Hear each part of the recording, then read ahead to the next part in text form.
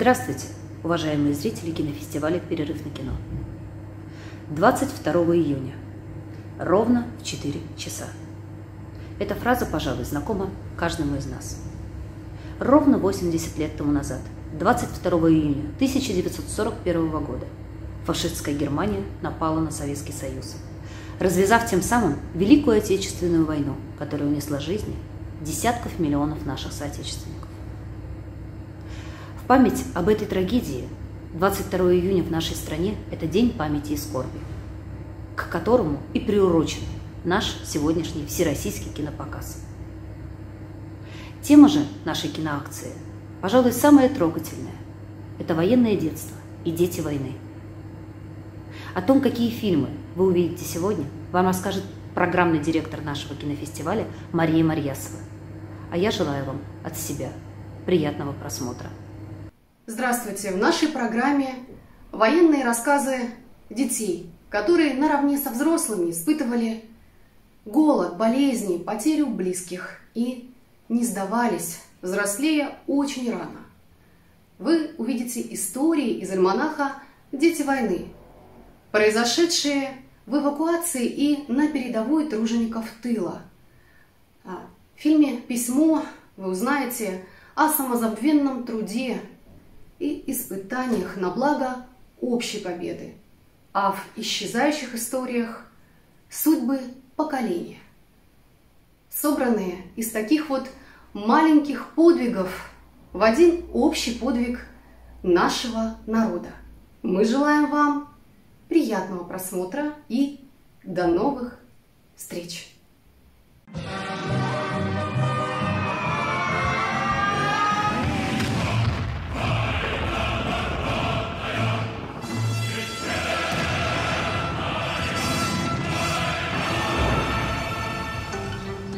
Только вчера наша семья была счастлива. Мы очень любили рыбачить вместе с отцом. В тот черный воскресный день 22 июня 1941 года тоже собирались на Десну. Когда услышали страшную новость, что на нас напали немцы, мы, дети, даже не сразу поняли, что произошло. Мы стали рыть во дворах щели для укрытия от авиабомб.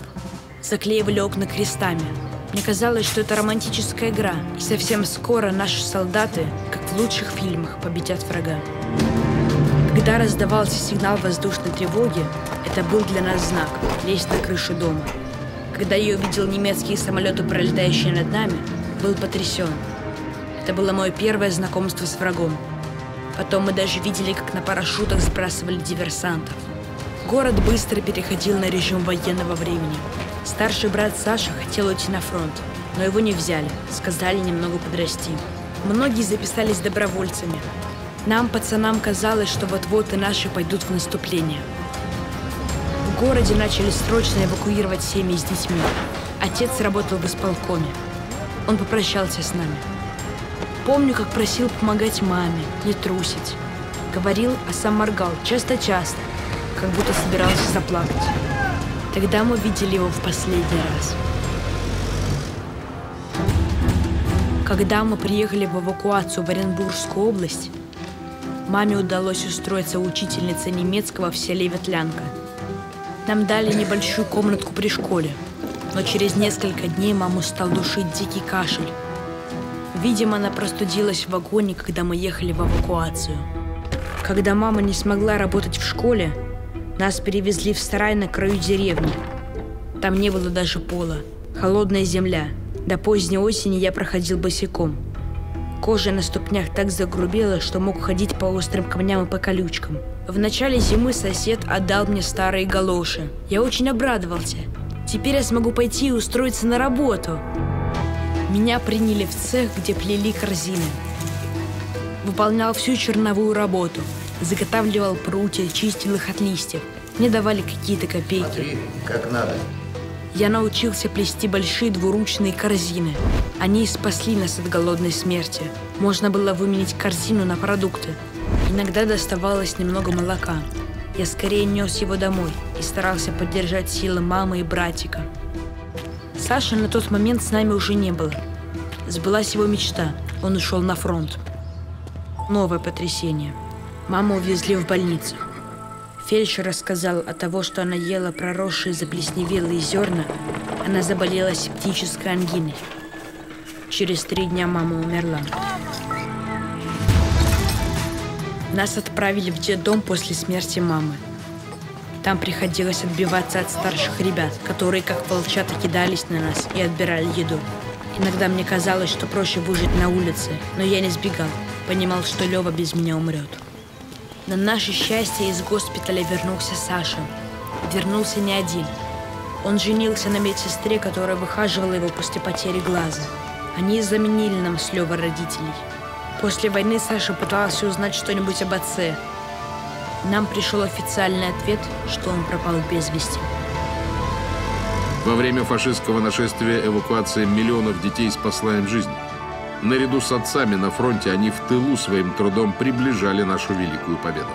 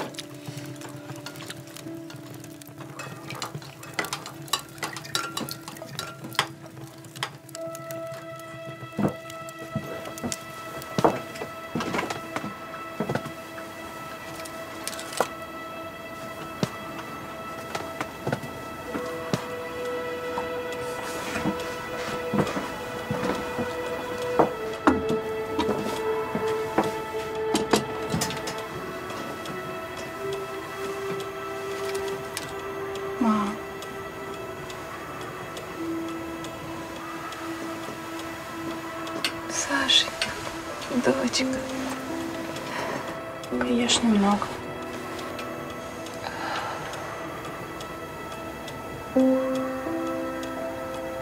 Не хочу пока. Позже поем. Тебе силы нужны. Ты покушай-то. Сколько работы по дому. Тебе силы нужны. Иди поешь.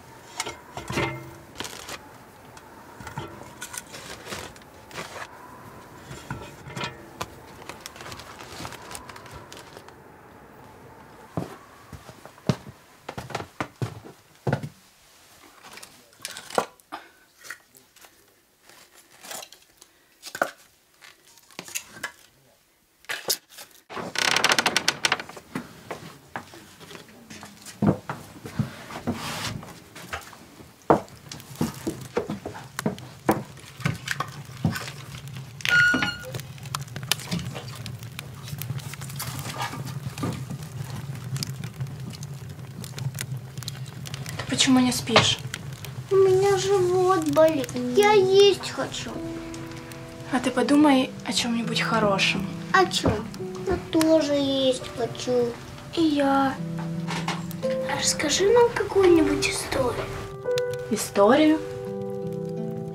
А давайте я лучше вам еще раз прочту письмо, которое получила с утра от папы. Только вы пообещайте, что сразу после этого уснете. Обещаете? Да.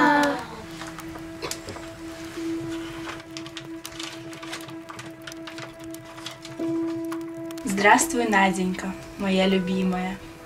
Как хотелось бы посмотреть на вас, на тебя, на Сашу, милую Женечку, Ксюшеньку, Иринушку, Лизу, моего богатыря Ивана и мою любимую Ярославушку.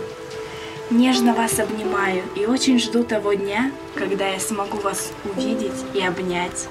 И каждую ночь, когда мне тяжело, и я не могу уснуть, я вспоминаю нашу с вами песенку, и мне становится легче. Ваш папка.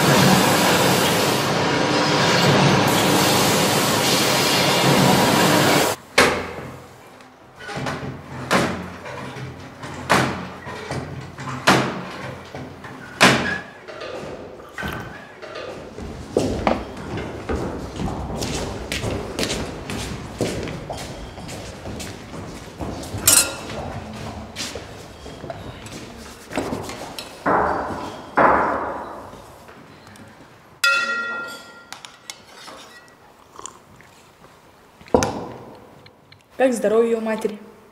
Плохо. Ухудшилось. Что тебе отец войны пишет?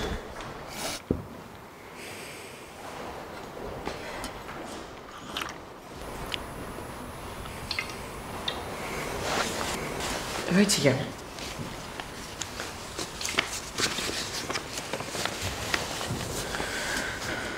Милая Танечка и Ромушка. Я не знаю, прочитаешь ли ты когда-нибудь эти строки. Сейчас идет бой, жаркий, смертельный. Наш танк подбит, кругом нас фашисты. Весь день отбиваем атаку. Сегодня 221 день войны. Мы не думаем о спасении своей жизни. Мы воины. И не боимся умереть за свою родину. Танк содрогается от вражеских ударов. Но мы пока живы. Снарядов нет. Патроны на исходе. Вот так вот.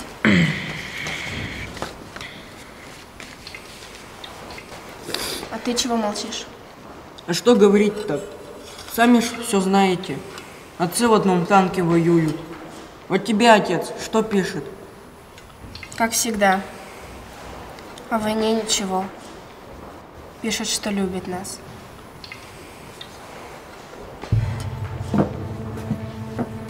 О, Нюрка пришла.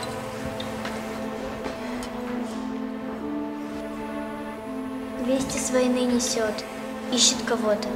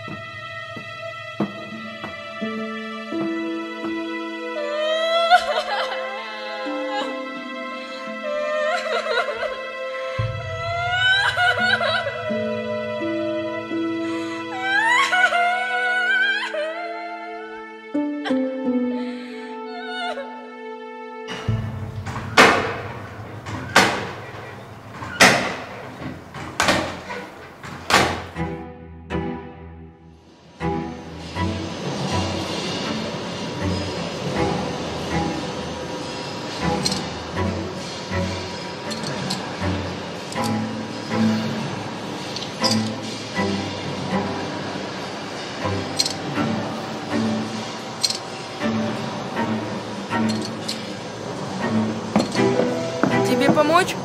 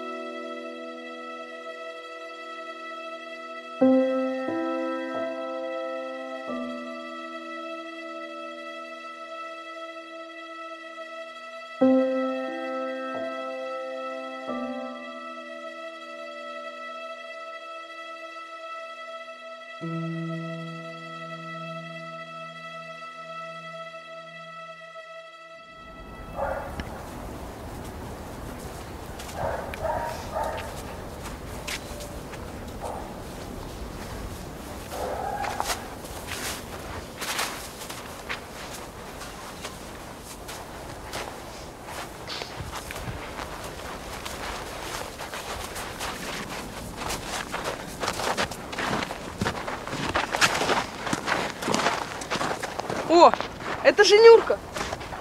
Нюрка бежит.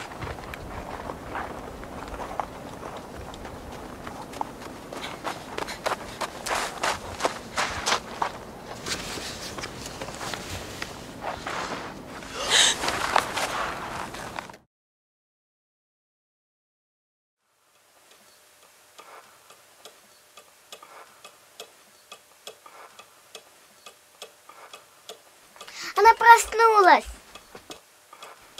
Проснулась наконец-то. На, выпей водички.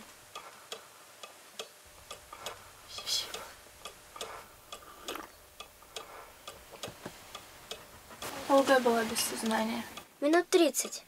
Где Нюрка?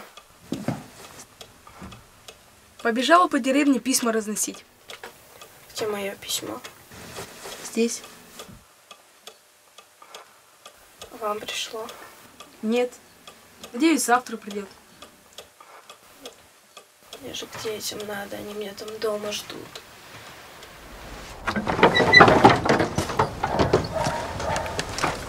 Спасибо, Тима, за все. Поддержку, помощь. Ты, главное, держись. Если что, обращайся. Знаешь, Саш, даже если мы полностью отчаиваемся, мы все же продолжаем надеяться и верить. Но когда мы перестаем надеяться, мы умираем. Людям нужна надежда на будущее. Даже если они не уверены, что оно будет хорошим, они должны верить.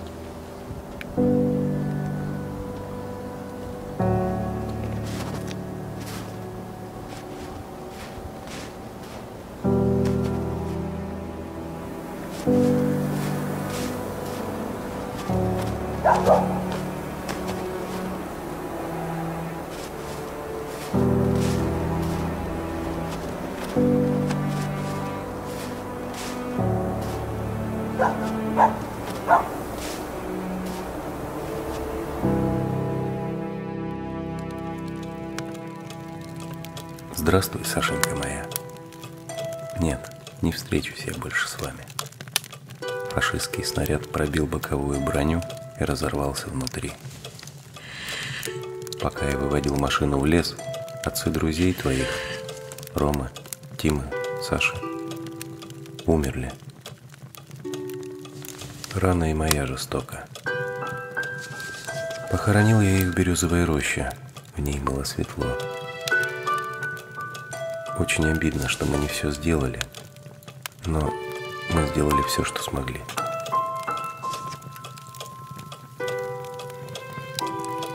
Я никогда не прожил бы жизнь так, если бы не вы, мои дорогие.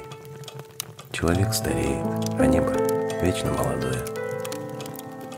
Как ваши глаза, которые только смотреть да любоваться. Они никогда не постареют, не поблекнут. Я счастлив, что ухожу от вас с великой любовью к вам. Вырасти нам детей таких, чтобы мы с вашей мамой даже в небытии ими гордились и радовались. Пройдет время, люди залечат раны, построят новые города, вырастят новые сады. Наступит другая жизнь, другие песни будут петь. Но никогда не забывайте нашу песню.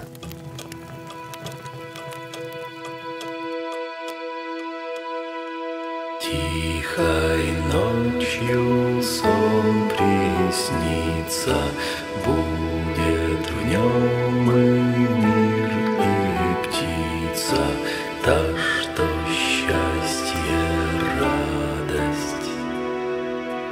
Та, что счастье, радость принесет.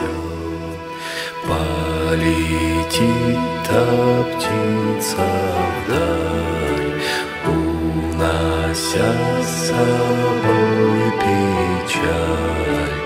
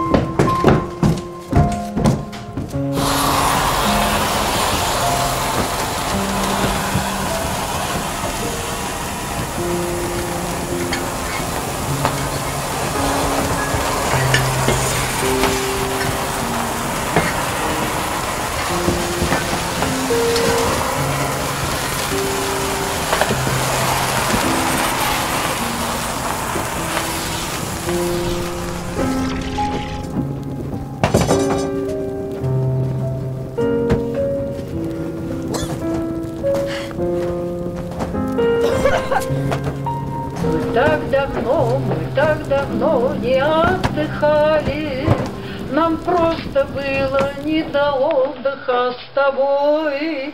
Мы пол Европы по-пластунски пропахали, А завтра, наконец, последний бой.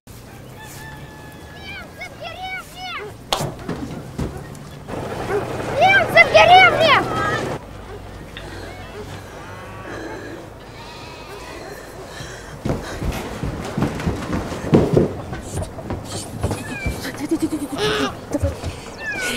Из дома не ногой.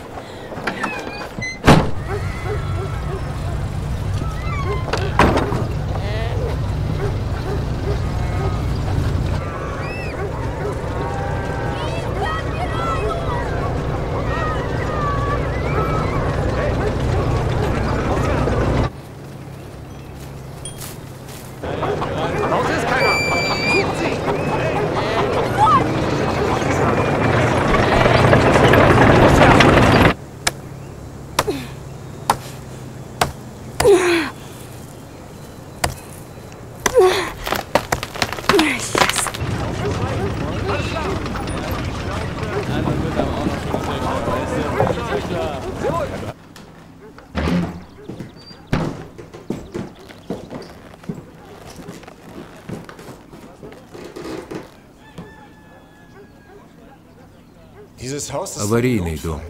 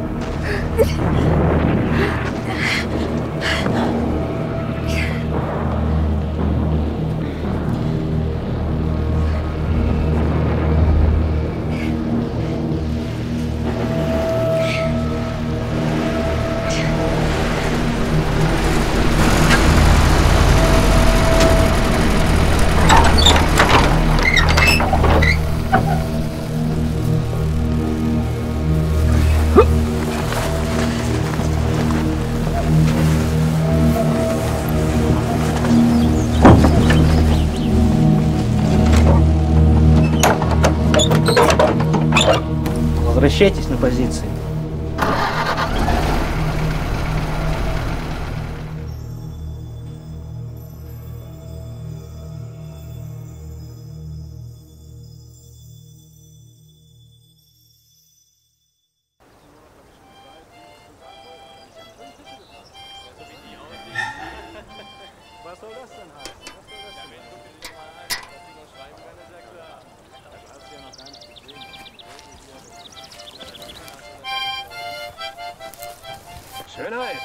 Etwas Wasser. Was für eine Figur. Hey, wo willst du hin, Süße?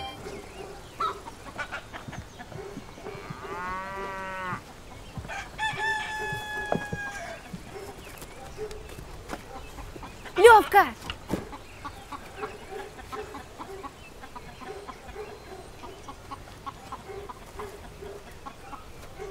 Никому об этом не говори, не лезь к этому дому. А что, если его поймают? Ира, партизан. Если об этом узнает, нам не сдобровать. Ты поняла?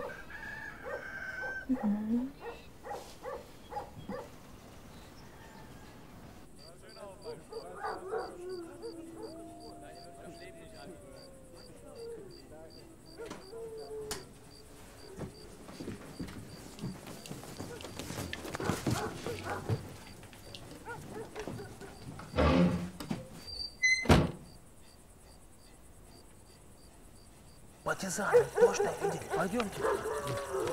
Хефица, Хефица, у батьки партизан пошел. Пойдемте, пойдемте.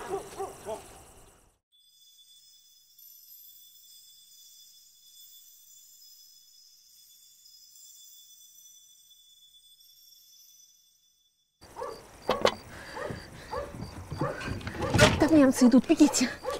Ева, немцы.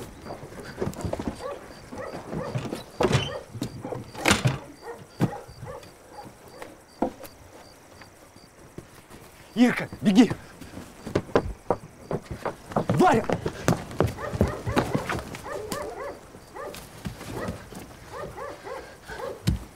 Alles klar. Jawohl. Ich suche dort. Du ins Haus, du dorthin. Sucht sie überall. Wo sind die Partisanen? Vielleicht sind sie in den Wald. Vielleicht sind sie raus. Sucht sie überall. Jawohl, uns entkommt hier nichts. Hier ist keiner. Hier ist auch alles klar. Wenn man sie kriegt, macht sie sofort kalt. Aber vielleicht sind sie raus. Wer weiß, vielleicht sie im Wald oder so. Verdammte Scheiße.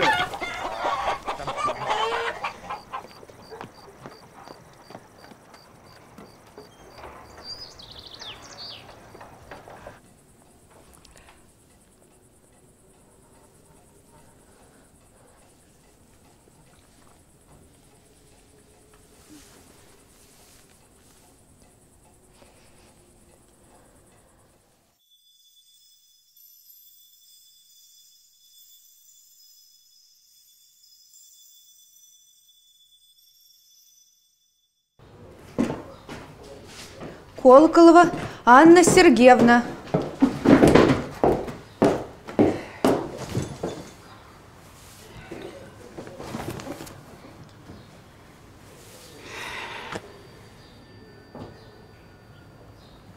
Продолжайте.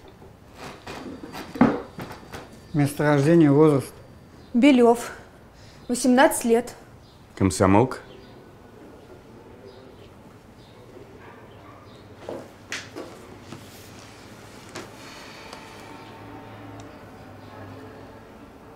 Деревня Анновка, Ульяновка, Слобода, знаешь? Боевое задание тебе, Колоколова. Нужно разузнать количество боевых единиц, сколько там немцев и есть ли местные жители. О результатах доложить. Вперед.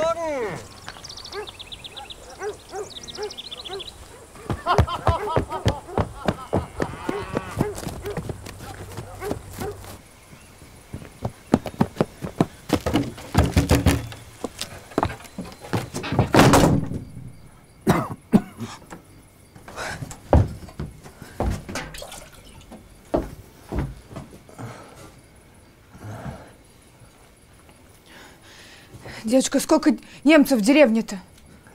Штук под сорок. А деревенских сколько? Наших человек 10 осталось. Ты, ты куды? Мне еще в Слободу нужно.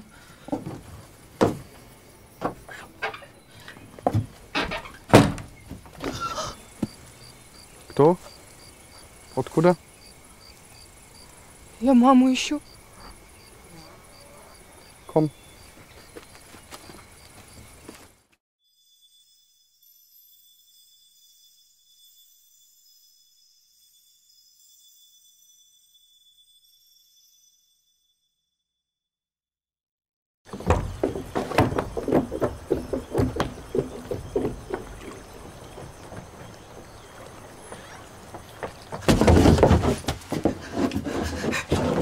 Зачем ты пришла? Что тебе нужно? Я маму ищу.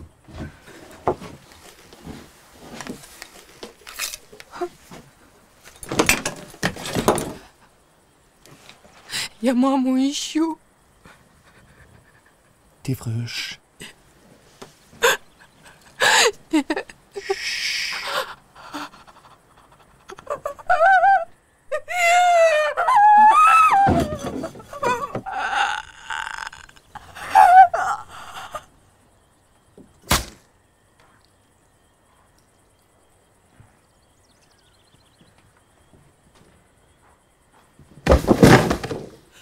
Беги.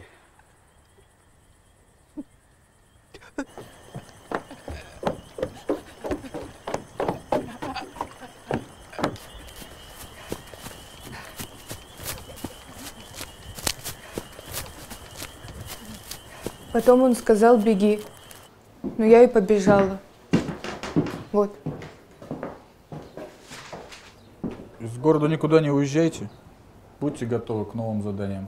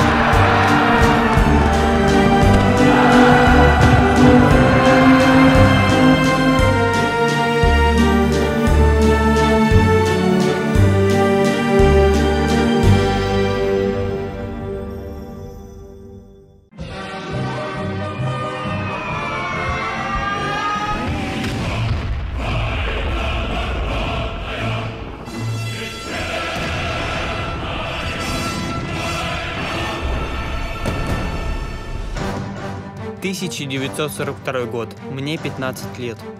Начал работать учеником токаря на артиллерийском производстве знаменитого на весь СССР Уралмашзавода. Смена длилась 12 часов, выходных не было. Мы, молодые ребята, от недостатка витаминов покрывались болезненными нарывами, ранились от неопытности. Больничных не давали, даже при глубоких порезах стружкой или инструментами. Если порез был слишком глубокий, в медпункте его зажимали железной скрепкой и вновь отправляли на работу. В ночную смену нестерпимо хотелось спать. Пока станок обрабатывал деталь, умудрялись заснуть на несколько минут. Просто кладешь руку на станок и спишь. Как только операция заканчивается, просыпаешься. Только надо, чтобы мастер не заметил. Сегодня проводится заседание суда о нарушениях трудовой дисциплины. За малейшее нарушение сменный мастер подавал докладную. В итоге по решению заводского суда снижали зарплату, а самое страшное, что снижали и суточный паёк на 200 граммов. Мы постоянно хотели есть. В заводской столовой обычно давали жидкий суп и каша. Никого не удивляло, если кто-то вылизывал тарелку. Среди рабочих были умельцы, которые в перерыв на обед умудрялись сделать вещи. Продав, можно было купить продукты. Я достал дефектную дюралюминиевую деталь к танковому двигателю, выточил штамповки кастрюлю, приклепал ручки и обменял у столовской хлеборезки на буханку хлеба. Как-то вызывают начальнику цеха, переводят на другой станок. На нем в день надо было сдавать 170 деталей, а у рабочих получалось не более 20. Остальное брак. И надо было разобраться, где станок дает сбой. Мне даже выдали дополнительные талоны на питание. Вышел ночную смену, заметил. При обработке деталей червячная пара работает в прерывающемся контакте. Зашунтировал движение шпинделя. Измерил. Все точно. Запустил в таком режиме сразу три станка. Утром вместо 20 у меня было готово 180 шестерен. Мастер долго не мог поверить. Когда измерил и убедился, что все годное, побежал к начальнику цеха. Ну, сынок, проси, что хочешь. Я так намерзся в расползающемся ватнике, что ни много ни мало меховое пальто хочу. Уж не знаю где, но достали они талон на меховое пальто. Иди, выкупай. Многие годы я прощеголял в этой цегейке. Тепло, и девчатам нравилось. В годы Великой Отечественной войны на Уралмаше было произведено 6 тысяч танков и самоходных артиллерийских установок, 19 тысяч бронекорпусов, 30 тысяч полевых и танковых орудий.